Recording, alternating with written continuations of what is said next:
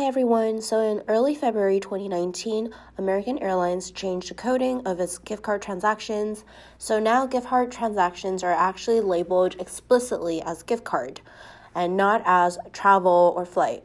So that means if you buy American Airlines gift cards, you can no longer get reimbursed with the airline credit that we get every single calendar year with platinum and gold Amex cards. The way around this is that there are still two airlines that work with gift cards. They are Delta and Southwest. Keep in mind that for Delta, you can only use on your desktop. Hey everyone, so today, even though my voice is kind of broken, I just want to talk about how I used the airline credit on my two Amex cards, the Platinum and the Rose Gold. So as you guys may or may not know, there is this yearly, like annual calendar year airline credit, 200 on my Platinum card and 100 on my Rose Gold card. And so here I'm going to show you how exactly do I buy gift cards from Delta and Southwest. So let's start with Delta. I just basically type in Delta in Google navigate to the site, find the place that has gift cards, which is right here. I click into it, and here I just want e gift cards since I don't need the physical copy and I like to do it in $50 increments since it is smaller and it is safer that way. If it fails, I only lose $50 and I don't really lose $50 because I still have the gift card itself. Is that I can't apply my airline credit if this does fail. And here we look at how we purchase the Southwest gift card.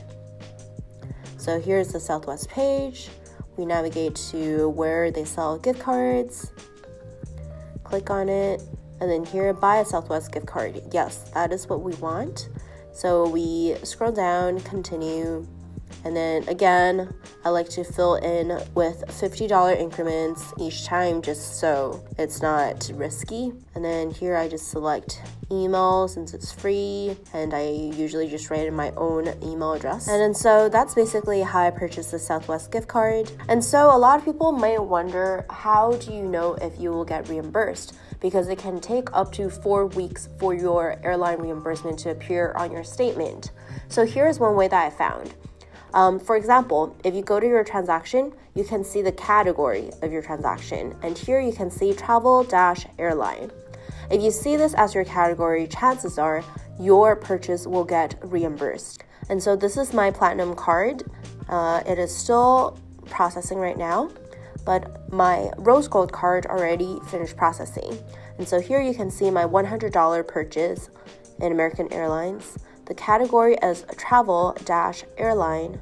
And then you can see I have my Amex airline fee reimbursement for $100 right here. So this method did work for me and I did purchase this gift card in January, so that's why the American Airlines gift card purchase still got reimbursed with the airline fee reimbursement. But as of right now, which is March 2019, only Delta and Southwest gift cards work. So I hope this video helped you, and please let me know if you have any question or success with this method.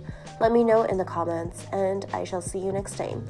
I also have a lot of other perks and benefits in my info box. Be sure to check those out. If you enjoyed this video and found it helpful, please give me a thumbs up and subscribe for more videos like this. And I will see you guys next time. Bye.